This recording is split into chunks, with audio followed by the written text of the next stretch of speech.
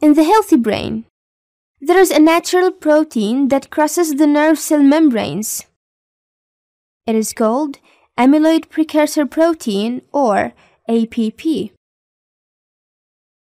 Naturally, this protein undergoes regular turnovers by two enzymes. The beta secretase enzyme, which cuts the APP from the external side, and the gamma secretase enzyme, which cuts it from the cytoplasmic side.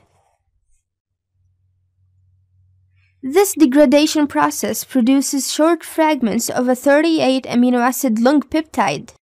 The resulting 38 peptides are easily metabolized and eliminated from the body without any harmful effect. Similar situations occur if the new fragments produced are 40 amino acid long.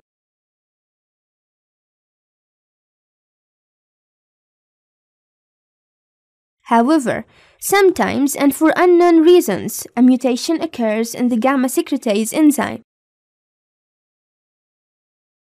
This mutation results in the production of 42 amino acid peptide fragments.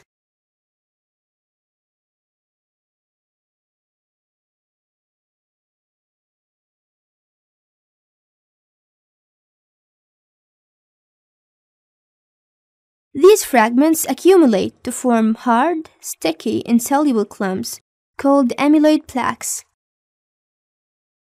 These plaques trigger disruption and destruction of the brain tissue of Alzheimer disease patients.